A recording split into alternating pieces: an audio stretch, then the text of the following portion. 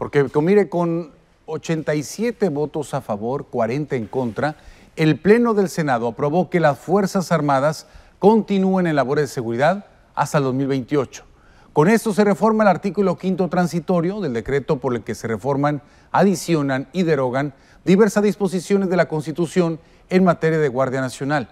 Así luego de casi 10 horas de discusión entre descalificaciones, confrontaciones y hasta acusaciones personales, se avaló este dictamen modificado que ahora será turnado a la Cámara de Diputados. Y ante las críticas por las presiones para conseguir los votos, el coordinador de Morena en el Senado, Ricardo Monreal, rechazó que se haya amenazado y ofrecido dinero a nombre del partido. Rechazamos todo tipo de insinuaciones sobre presiones, amenazas, dinero, actos indebidos o ilegales.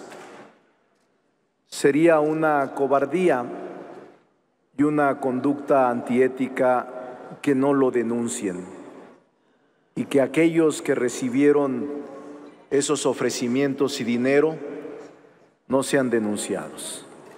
Son senadores y senadoras. ¿Por qué callarse? ¿Por qué no actuar con valentía frente a la sociedad? Por su parte, durante su posicionamiento, Lili Telles provocó confrontación con la bancada morenista como con Lucía Trasviña y Napoleón Gómez Urrutia, desviando la discusión del dictamen a acusaciones personales. Sentado y callado, Napoleón. Después hablará usted, sentado y callado, y espere sus croquetas. No acepto señalamientos de una persona que tiene una doble moral y una cola que bueno.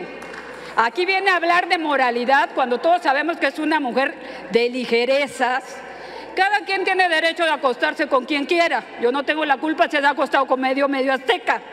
Pero al final de cuentas hay que tener la cola corta para tener la lengua larga.